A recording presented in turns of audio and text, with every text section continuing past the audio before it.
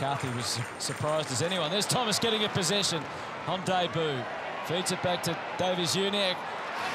Players get on the outside and outrun them. Well, they've done this well, taking it from one half back all the way to the opposite half forward. That's terrific courage. He's a battering ram, Robinson. They go again. Play on the call. Left foot from McMillan.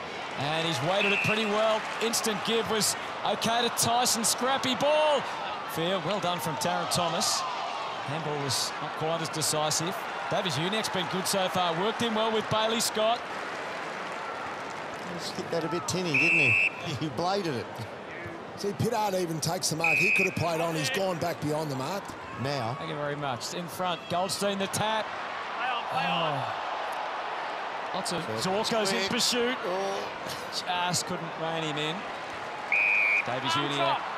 Old dog trick there, pretending he's going to bend down and pick it up. buy some more time. midfield to seize upon and have room to work. So that's a critical goal for North. Gives them back the lead and a better feeling about themselves late in this second term. Robinson, he waited and couldn't have anyone to handball to. Tackle. Davies-Uniacke. The gather was better than the kick. Coming out was Brown. Higgins got it through. Davies-Uniacke again. And he hits the target just the required distance. It's Ziebell. Oh, Robinson got one high. Went unwhistled.